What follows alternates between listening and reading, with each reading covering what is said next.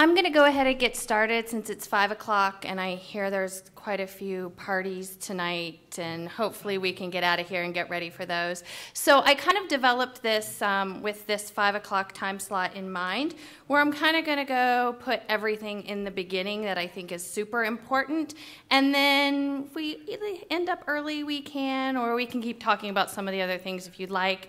Um, but I know if you're anything like me and it hits about 5:30, you start getting a little hangry and need to go out and find some food. So go ahead and get started with some of this stuff here. And if you're in the right spot, if you want to learn about stats, but I'm going to do a shameless plug first and mention that Drupal GovCon is coming up, and if you registration just opened and speaker submissions just opened, so we would love to have you guys come and join us. We are free three days, kind of similar to this in Washington, D.C., and you get to learn some more Drupal fun stuff. So if you have any questions about Drupal GovCon in Washington, D.C., definitely let me know and I can get you some information. All right, so introduce myself. It's Amy Shropshire. That is the Old English spelling of my last name. It is a city in England. I don't expect you to be able to say that. Amy is just fine. Um, my background, I actually started building websites back in 1997 on Angelfire. Um, they're somewhere still out there, and I'm not going to tell you where they are because they're awful. Um, I would actually take graph paper and draw what I wanted the website to look like, and then write the HTML in on the graph paper and put it into the system. Went on and got my degree in digital design and graphics, and decided, why am I designing these websites? So then I got a bachelor's degree in advertising and thought, why am I selling all this crap?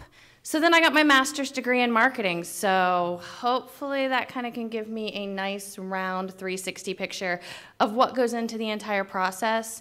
I promise my parents I am never, ever, ever going back to school after that. Um, currently, I am the founder and principal consultant for CASK Communications. We work primarily with nonprofits and startups. I've found that the organizations that have the least amount of money let me spend it in the most creative ways.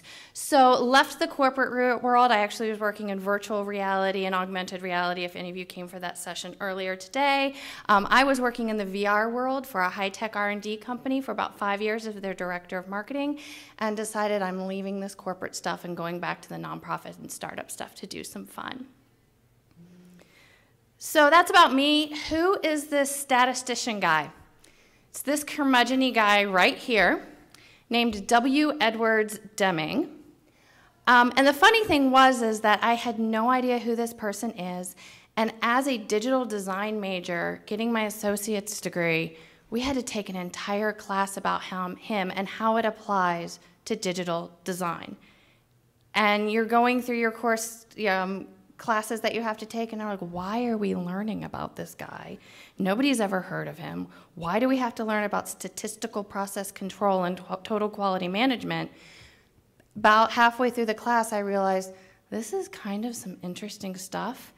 And it's so, we already know the stuff he talks about, but the way he phrases it is really kind of interesting.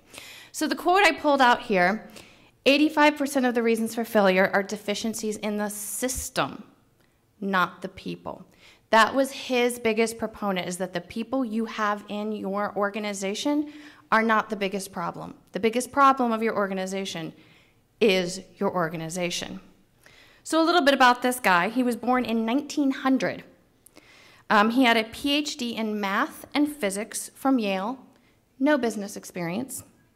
He developed the sampling techniques that the US Department of the Census and Bureau of Labor Statistics still use to this day to develop their data sets. He was awarded the National Medal of Technology in 1987 and the National Academy of Sciences Distinguished Career in Science Award in 1988.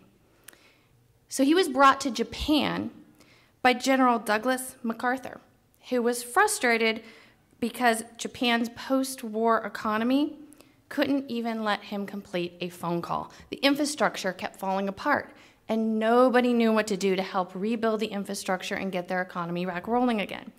So General MacArthur called him over And he started leading workshops with um, Japanese industrialists, including the co founder of Sony, using what's called statistical process control.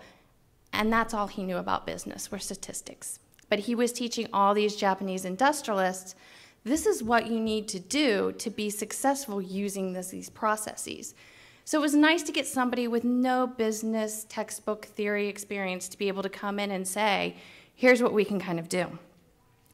So, one of the things that I wanted to go over, he developed this experiment. And I don't know, has anyone heard of the red bead experiment? Ah, one lone person. Hi, we're both crazy. Uh, so, the red bead experiment, from being a statistician, is he wanted to show that the majority of people have no control over their own success in their careers. Have you ever been in a job where you felt like, I'm working, I'm putting in all these hours, I'm doing everything that's asked of me, and yet I'm still not meeting the expectations that are being put on me? That was his argument, is that most employees have absolutely no control over their own success. So we're going to actually do the red bead experiment, an abbreviated version of it. If anyone's brave, I need five volunteers. Come on up. Perfect. Who is the bossiest one of you?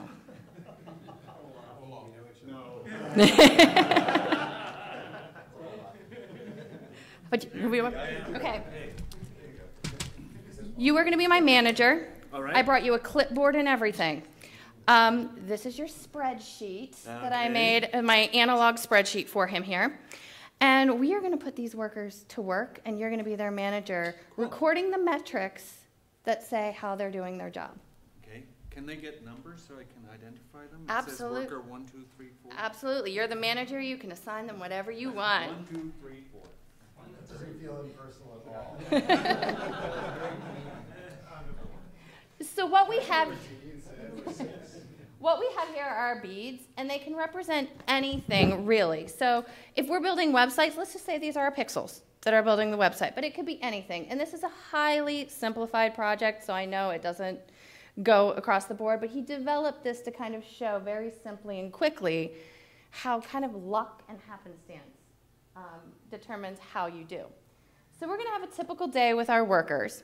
Now, at the end of, what is it, three days? Four days. Four days? Make them work a lot. At the end of four days, we're going to fire the two lowest performing of you guys. So, in your typical day, you're going to take a scoop of whatever you're working with, pour it in the next container.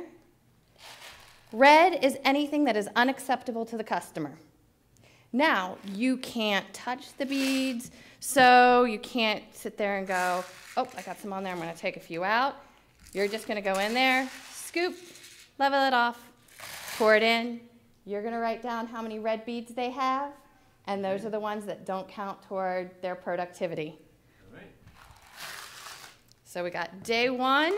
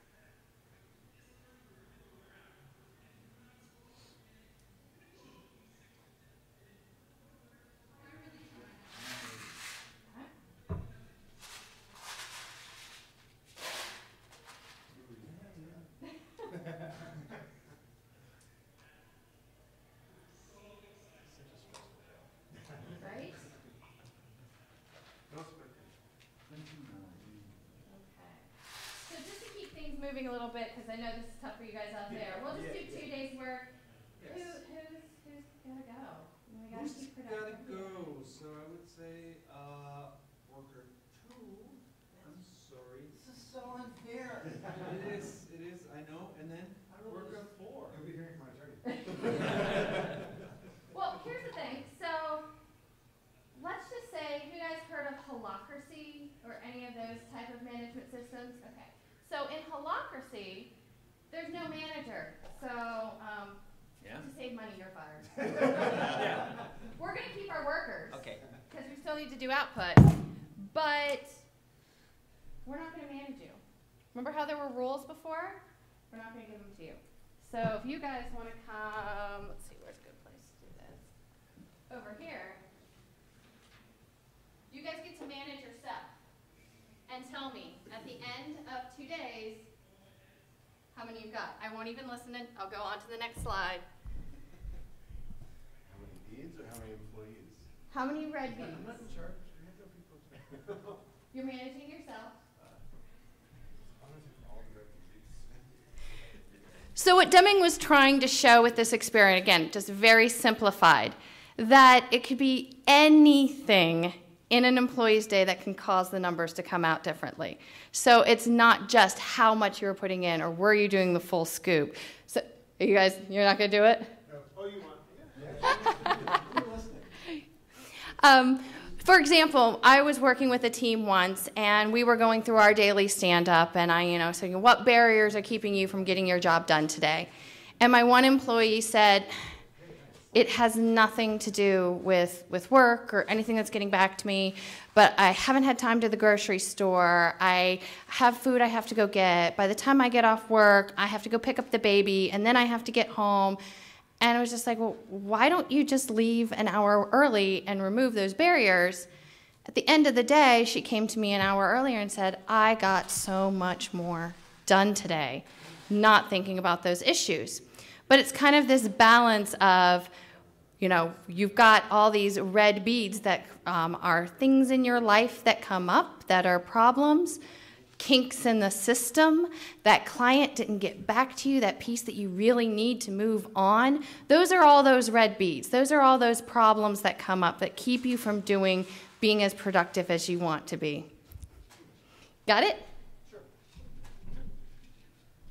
All right. You want an explanation? I would, you know, you know what? I would love an explanation. So day one, they so they went from like 10, 30, 26, 26 red beads to 12, 12, 12, 12. And on next day, 12, 12, 12, 12, 10, 10, 10, and 10, and 8, 8, 8, and 8. And I'd love to hear your reason. Well, all right, nobody's watching us, so we figured we'll have nobody finish on the bottom, so it'll be really hard to justify firing anyone. And by the way, since we're making up the numbers as we go, because nobody's watching us, we might as well show improvement. That is actually per, uh, perfect. So on the next slide, it actually says there are three things that Deming noticed. You either improve the system, distort the system, or distort the data. So you guys were the best helpers I could ever ask for. A big round of applause. because across the board, that is exactly what Deming found happened in the two different systems, where you had workers and the management was you know, over them and watching everything they were doing and applying the metrics for them, the workers were, were having trouble getting ahead, having trouble making those metrics stick, having trouble getting through that. And yet, then the opposite, when you turned it completely over to the employees, we've all covered for a coworker before.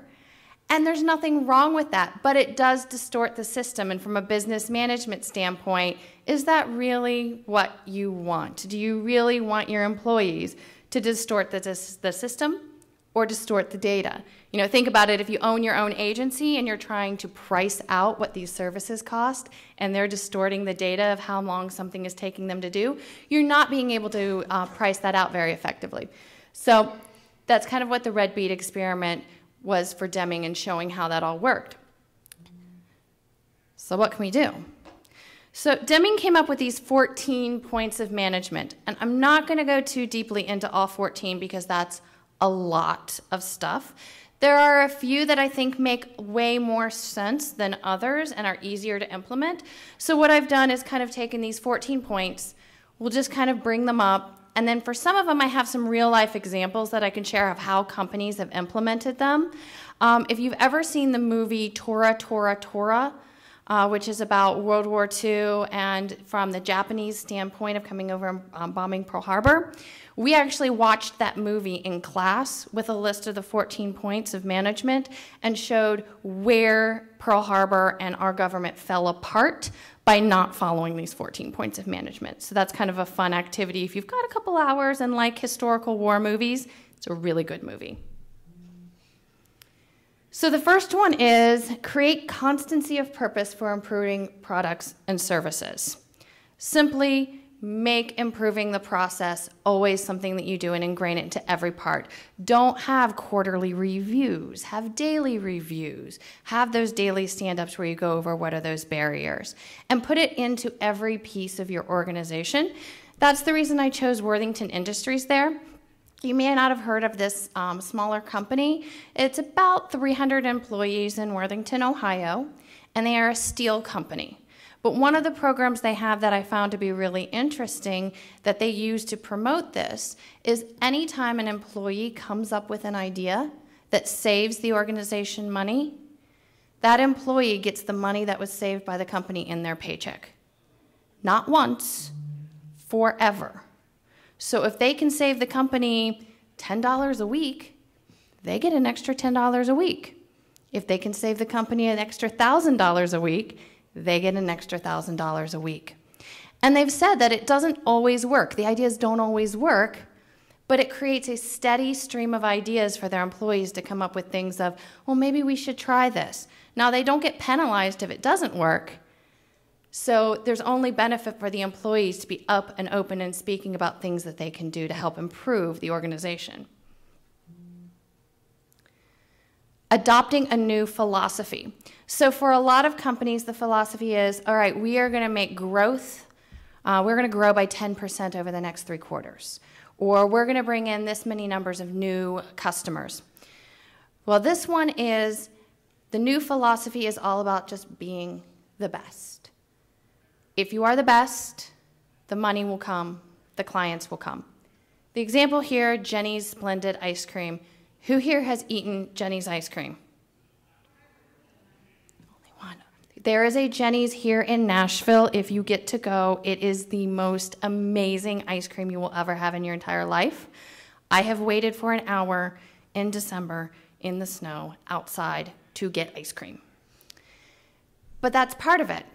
Jeni's whole idea behind her ice cream, she's like, I don't care if we make money. I want to make the best ice cream that exists.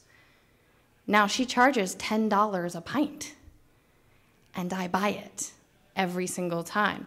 So if you have that philosophy of we're going to be the best, we're going to have the best that's out there, people will buy it, and that'll be the people who really love your product and evangelize for your product.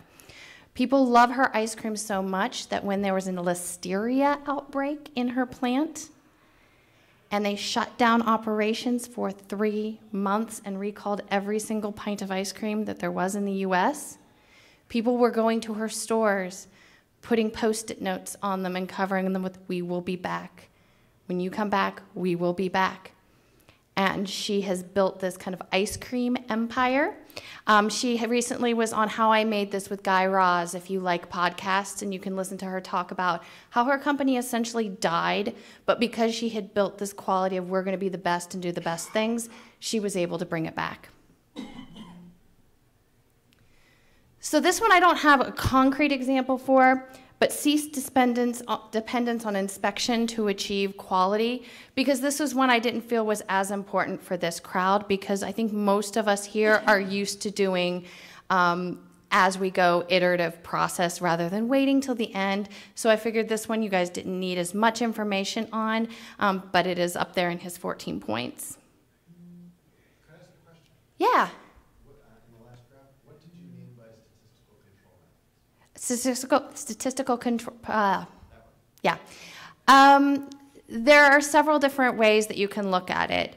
Um, Deming was really into, you know, figuring out what your backwards process kind of is rather than just keeping data for data's sake and thinking about, oh, I'm going to have this list of all these things that I'm measuring, all these outputs that I'm measuring, and instead looking and saying, what's the question we're really trying to answer and working that way backwards. And so there's several different statistical processes you can use to find those.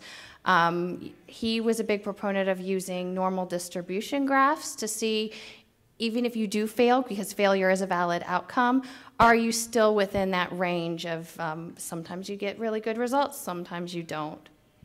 Did that answer that? Okay.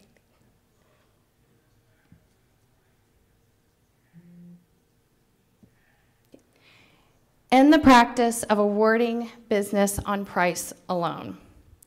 So again, not one that I was going to spend too much time on because I think we've all worked with those suppliers that we know. Sometimes we have a supplier over here who's more expensive, but we can get five different things from them rather than five different vendors over here that we're getting things from. Kind of my example on this one because I like statistics and because spreadsheets are amazing. Uh, when I was looking at what grad school I wanted to go to, I made a spreadsheet and I quantified everything. And I looked at what's the price? How prestigious is it? How long is this degree going to take me? And then I threw it all out the window and went to the school that I wanted to go to anyway. So that's kind of the example there is, you know, you can put all these things into statistical processes but sometimes it's not always the price that's the thing that you should be following. Improve constantly and forever every process for planning, production, and service. When I work with companies, most of the time they are so focused on what service they are giving their customers that they forget about how the customer is finding them. How many emails did it take to get somebody to contact them back? Is a phone call. What's that process when they call and don't get somebody? So, looking at every step of your process and seeing how that fits in with what type of service you're trying to offer, because it's not just that product that you're building for them and giving them. So, example here is Zappos, and I don't know how many of you are familiar with their new employee program. When they come in as a new employee, you get two weeks of paid training. At the end of the two weeks, they offer them cash money, $4,000, to go home. No longer work for Zappos. Because their belief is if you're not really invested in our cause and for being a good customer service advocate, take the $4,000 and walk away. So they're really trying to instill that belief in their organization. We want people who are forever going to be trying to do just a little bit better. And in their example, where they were showing improvement in their red beads that they were getting, if you have a culture that encourages that, that will happen organically. Institute training on the job. Yeah. I just have a quick question about the Zappos. Um, Yeah. Who's are the is the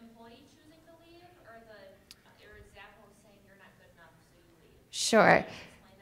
Yeah, so in the Zappos program, um, the employee gets to choose whether they want to leave or stay. Zappos is not making a determination on them at that moment.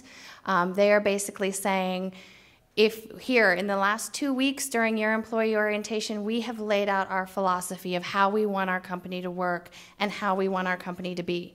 If you're not down with it, that's okay. But walk away now before you get entrenched in our company and don't contribute to that mission. And they can walk away with that money, no strings attached. And they said that some people do, that they do have um, not a very high percent walks out, but some people, once they make it through that training, just decide, you know, this isn't the company culture, this isn't what I want for me, and they do take that money and walk out. Yeah. So the Institute training on the job. In the last session that was in here before, we were talking about project management and how important certifications are for certain things. And one argument that W. Edwards Deming had is certifications in education are important, but make them everyday things. So in one of the teams I worked with, we I had a um, an employee who started as an intern and then came onto my team full time as my um, digital marketing specialist. And she was also our half digital marketing specialist, half front end developer. So she was kind of trying to mesh those all together. And what we did to kind of institute training on the job is we went to Coursera, free courses, and we all, as a department, all five of us, signed up for a course together and challenged to see who could come up with the best grade by the end. And so every day we would have our stand up and we would talk about what we were doing, what was our homework assignment in Coursera, what were we going through. It didn't take any time, it didn't cost our company any money, but it was a good way for us to say, what are we interested in learning? Do we really want to learn more about Google AdWords and how that fits in with our SEO and how that fits in with this piece. And we were able to take advantage of some of those tools to say we're going to make continuous learning a part of our whole department. So we included everyone in our department and made an offer to anyone else in the company who wanted to um, come into it as well. And then at the end of the course, whoever got the highest grade got an extra $100 on their paycheck. That was just me putting it in there. So. Oh, uh, the example on here, Boehringer Ingelheim. Uh, Boehringer Ingelheim is a pharmaceuticals company, and they offer, when they look at their long-term long planning forecasts and notice that layoffs are coming on the horizon, which is never a great thing, they try to plan it in such a way that those employees who are going to be getting layoffs um, are given stipends to go back to school, receive training to update their skills, and bring in things to the office so that those employees know yeah, layoffs might be coming up down the pike, but we're going to do whatever we can to make sure that you are still engaged and still employable in this industry. Adopt and institute leadership. Now, this is where Deming was talking about that manager who is hovering over you, writing down all the numbers of your metrics. And he said that just doesn't work. You saw what happened when they worked all together and were trying to figure out a system to get better. Um, but the manager over them also doesn't doesn't really work because then all you're trying to do is make sure that that manager writes down the right metrics for what you want. So he said instead adopt leadership in the organization. Actually, I have kind of two examples on this one. The first one is National 4 H Council, which was one of my old employers and the favorite CEO I have ever worked with. That CEO, we had a on-campus cafeteria, and he ate lunch with his employees almost every single day. Not planned ahead lunches where we would have time to figure out what we were going to say to him. He would just walk down to the cafeteria and say, Hey, can I eat lunch with you today? Tell me all the gossip that's going on in the company. What is keeping you from doing your job? And he would follow up on it. I don't know how many times I would go to him and say, Well, yeah, we're doing okay, but we're struggling with this. And the next thing I know, he would call me up to his office and say, okay, you mentioned you were having a problem with this. Here's how we're going to solve it. We're going to get it through. We had that um, anonymous employee suggestion box hanging on the wall that everyone's like, yeah, whatever, I'm going to put anything in there.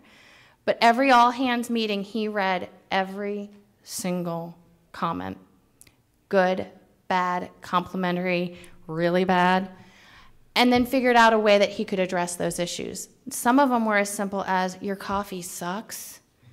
So he bought Keurigs for all of the floors at 4 H Council and said, We will provide an, a um, monthly amount of coffee you want to bring in. If you don't like any of the coffee we have here, just let us know and we'll buy you that kind so you can have your Keurig rather than us brewing the awful coffee that you hate. So, the second example I have on this one, um, let me collect my thoughts here for one minute. Oh, uh, Honda. Honda is one of the major employees in Columbus, where I'm from, and they have many of their Japanese and Korean and Asian counterparts come over who've worked at the plants over there. So they really follow this Deming philosophy.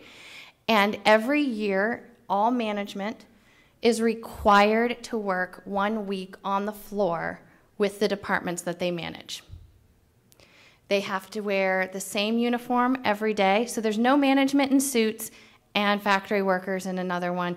Everyone wears the same outfit, and management is required to go out onto the floor and work so they can see firsthand oh, so that's what you mean that you need this, this piece of information. Oh, I see. So that tool over there is a little bit more expensive, but I can see how it would save you so much more time. And they stagger that process, so it's not like management kind of all leaves for the day and, and goes down there, but they have it so that the management can basically get their hands wet again. Um, having gone from somebody who worked in digital design to being a manager, I understand that that sometimes is really important to be able to step back in and see what your employees are doing because it's really easy to lose track when you're sitting there, again, dealing with spreadsheets and looking at all that stuff there. Drive out fear. And again, this comes back to that manager, and I know we probably all worked for a manager. They were like, we can't say that. I'm afraid to say that. If I say that, I'm going to get fired or I'm going to get in trouble and I'm going to get called out. And his idea was if you drive out fear and you have an organization where you can talk and say whatever you want. And again, the Worthington Industries one, the idea doesn't have to work. You just want your employees to keep coming up with those good ideas. So if you institute a culture where there's no fear to talk out, and you're able to say what you're thinking and what you think might be a good idea, your employees are going to want to do better and keep coming up with those good ideas. Break down barriers between staff areas.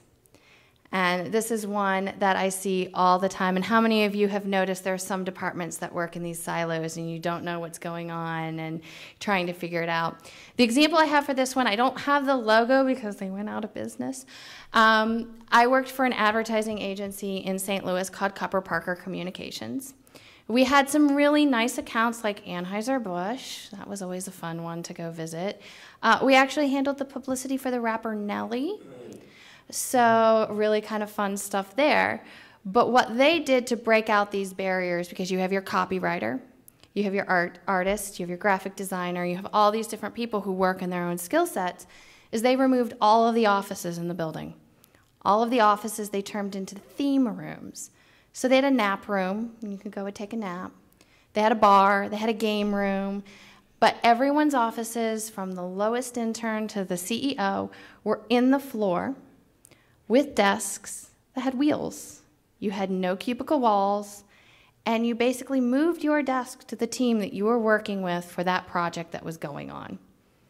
And it was fun because whatever part of the office you could go to, was kind of considered yours. And again, there's no walls, so you can't really decorate your cubicle. They had buckets of paint. You could actually paint the walls of the office, make your own little section there. But whatever team was working on Anheuser-Busch, they had each person on that team sitting together from account management to the designer to the art director, all sitting there so that they could just be sitting there and talking. No emails, no walking over to any place else, but having kind of a nice cohesive team. And I've always kind of liked that and kind of missed it when I've worked at places where I'm like, okay, I know they're just down the hall, but it'd be really nice if they could see what I was doing. So eliminate slogans, exhortations, and targets for the workforce. How many of you have nice motivational posters hanging up in your office that you get to see as you walk by and you think, oh, yeah, that's, that's kind of great? Well, what those tend to do is just kind of muddy the water. They're kind of nice things to say. Uh, nobody really listens to them, and you're like, okay, what are we really trying to do here? Motivate each other with the kitten hanging off the, the branch. So my example here is with Adept Marketing. I just started working on a project with Adept, and I was really blown away um, by their philosophy of slogans and kind of taglines and stuff. And they kind of have one when growth is the goal. But then when you dig down into it, their basic philosophy is, and when we've met with them, this is the first thing they start out with is if we can't measure it and we can't show that it's leading toward growth, we don't do it. And that's it.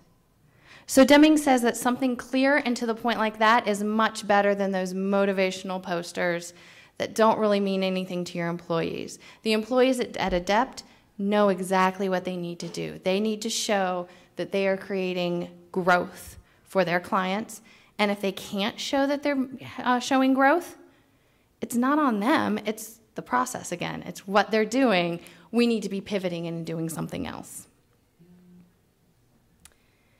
Eliminate numerical quotas for the workforce and numerical goals for management. Now, I blocked out this one a little bit. Um, it's a little hard to see on there, but I can go over, and it kind of comes back to your question. Um, and I know what everyone always says when they see this is you can't manage what you don't measure, so how can you do this? It really is just as simple as you apply the metrics to the process, not the people. So, yes, you still have metrics. You still measure things, and that's the key behind the statistical process control is you measure the statistics of the process instead of applying them to the people.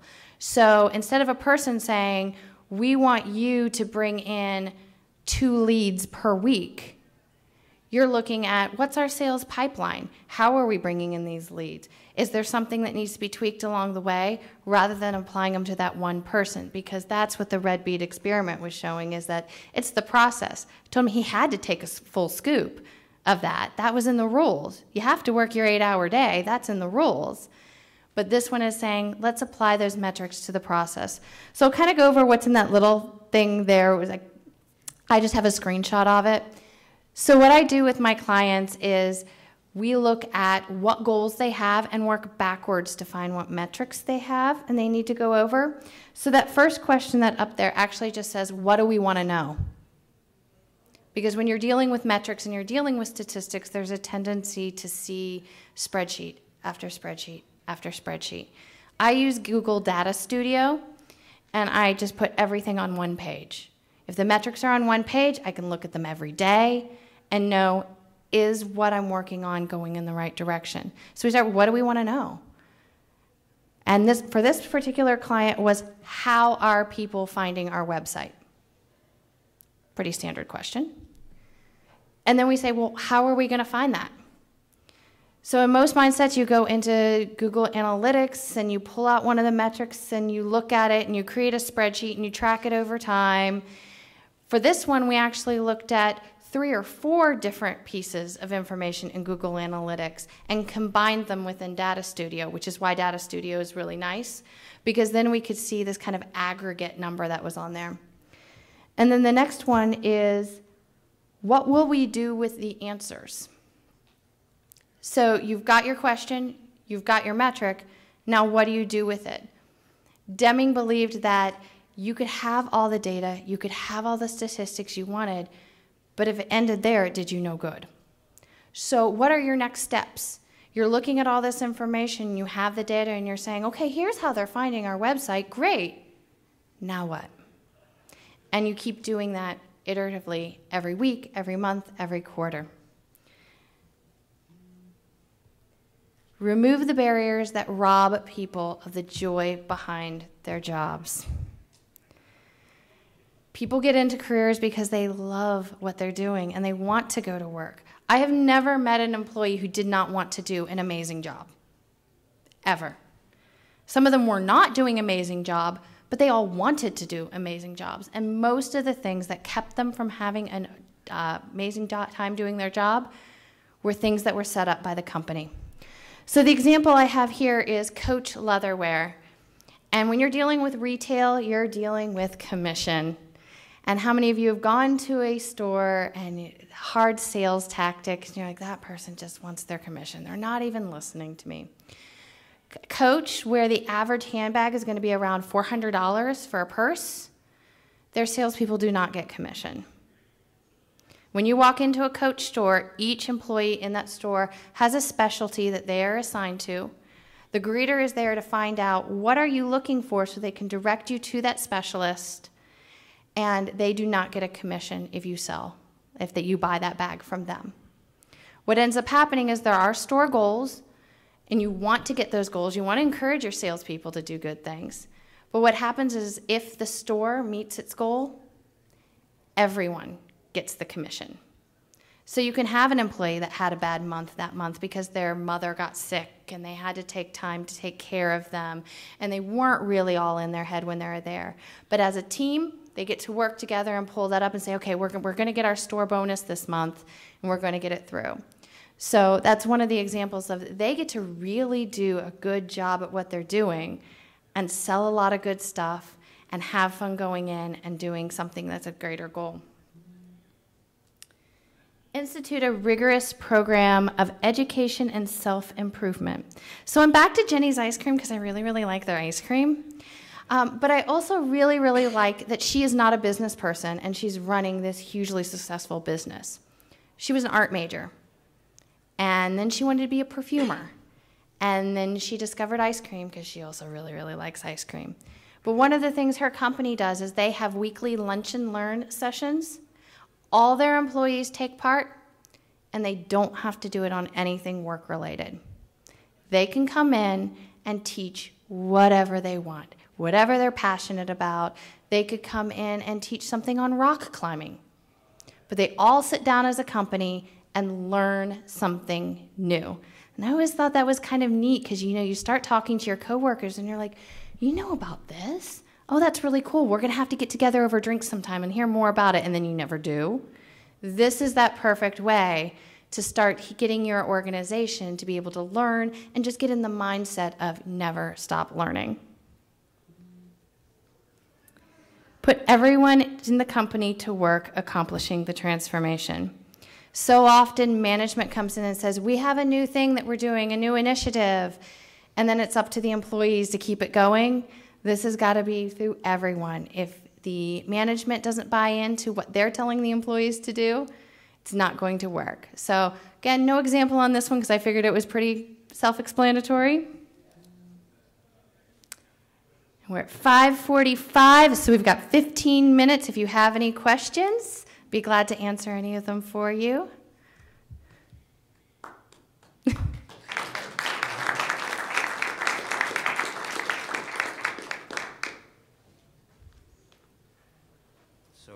so, I was. It's more comments than questions. Yeah. Um, that one is that um, that this, the whole practice of continuous delivery in software that we know of today, mm-hmm. before anybody in IT thought of continuous delivery, it was really Deming's work was really at the foundation of that. Yes. Right? The people that started doing CD that we know as CD, they were like, had Deming at the root. So there's kind of a, a, a context. The other comment is on, um, I don't think Deming's is necessarily directly mentioned, but in there's a This American Life episode mm-hmm. on NUMMI, N-U-M-M-I, the, yes. the Fremont auto plant that was taken over by Toyota in the 1970s. And it's it's it's a super cool validation of a lot of the stuff that you talked about. And is that the one where you could see the difference? They found the difference um, in the manufacture between the Japanese plant and the one here. Yeah, they, they were shutting yeah. down the, the the the NUMMI plant was the worst performing GM plant in North America, and it was being closed down because of that, and the Japanese took over because their Congress imposed import quotas, and they had to start manufacturing in the United States. And so they took this deal, and GM gave them their worst plant, mm-hmm. and they said, "Here's the plant. You can fire all the workers now. Now that you're coming in." And Toyota said, "We want your workers." And GM was like, "You don't want these people, right? These are the worst They're people terrible. anywhere, right?" Yeah. And the, Jap- the Toyota just said, "No, we'll take everybody." Right. Yeah. And what you go from there. It's an awesome episode. It's really, really cool. Well, and, and that's kind of what I noticed when I said, you know, I've never met an employee who did not want to do an amazing job. And, that's just it. It's usually employees that are trapped in some sort of system that they may not even know how to articulate to their management. This is a problem, and I'm really struggling. And sometimes it has nothing to do with work. Uh, like I said, you know, one employee just needed an extra hour to be able to go out and, and take care of some personal things. Yeah, It's a little I'll low. just- I know, I can fix that. Um, it seems like inherent in the system is this idea that every you don't really think about firing workers or evaluating like like everyone. You just try to find the way that they can be successful. I mean, is is evaluating firing people is that ever part of the system or or not really? It is. Um, but it is, I think the first step is acknowledging some of these other things. In situations that I have seen, there's often this kind of jump to we have a low performing employee and they're just not doing very well, and we've tried to put them on employee improvement plans, and it's just not working. Um, but we've never looked at how can we kind of tweak their work environment to make sure that they are doing what they can do in the best way that they can do it. So, yes, people are still going to get fired. Um, people still have to be managed in a certain way and put on performance improvement plans. But I think sometimes as managers, we have to just step back and shift our perspective a little bit and say, before we go straight to that disciplinary part, are we putting the wrong measures on them? Can we tweak what they're working on a little bit and measure that a little bit better so that they can feel that they are doing a little bit better job? Uh, because uh, quite honestly, it is demoralizing if you've ever been a job and you can't seem to keep getting ahead and you reach the point where you're just like, well, why am I even doing this? So yeah, yeah, there's still going to be people fired and still employee improvement plans, but kind of shifting that a little bit to kind of say, how can we make this go in a little different direction? And especially so they can leave with dignity as well, because there's a perfect fit for them out there somewhere, and it just wasn't us. Thanks. This uh, might be a tangential question, but is there a limit to how much process you can impose on a team? Probably. Deming Have anything to say about that? Probably because then you get down into micromanagement, I would think. Um, when I've worked with it, I usually try to identify key because I'm usually working with customers. Those touch points that I have with my customers are kind of my key points. For other uh, departments or places, it might be different um, places in the process. But I would say you, you run the risk of getting a little micromanaging if you say, all right, we need to measure every single part of that in there. Yeah, that would get a little too much. Yeah. Anyone else? Oh, yeah. So where you see these practices being effective in, in the examples you have, they're like small companies or or maybe the large plant. Hmm uh, Do you have any like feedback, or any kind of uh, examples where this works at a very large multinational company where even the silos are spread across the world? For that one, I'd probably say, yeah, Toyota is probably the best example of where, you know, this is implemented really highly at Toyota. Um, Implemented at Toyota at a plant like plant basis versus on a digital organization that digital team members are spread across the world. I would assume that it's across the board, but just in different ways. Yeah. Yeah, because like he was saying, when they came over to take over that plant here, they brought that entire system and, and kind of spread it out there. Um, but Toyota is probably the best example of how they how they do it. Yeah. Well, if anyone else comes up with any more questions, feel free to talk to me. I'll also be here tomorrow. Um, I think we're going to go out and have a few drinks, so maybe we'll see you guys out there. But let me know if you have any questions or ideas or comments. I'd love to hear them.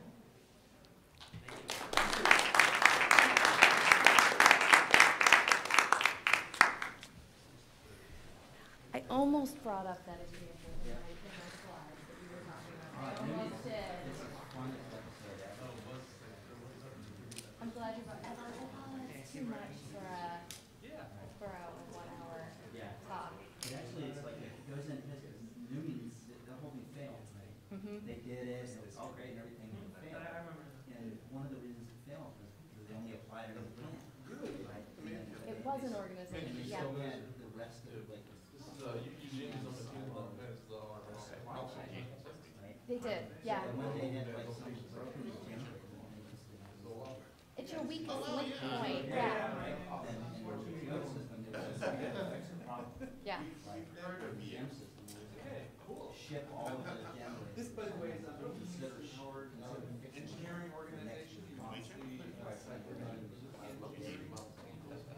Yeah, I'm glad I was telling my almost put that.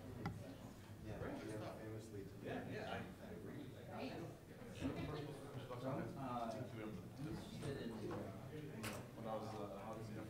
Yeah, yes. Are you from the area or willing to travel in? Okay. Right, so I, this part of it, go and visit her. Let me give you my card. I'd be interested in a fishing session. Yes. Um, email me Yeah. and I will So the- the connect you to the are person who's doing session selection so she can fill you in on the process and everything. Yeah. Recently love to have you. well, actually, or he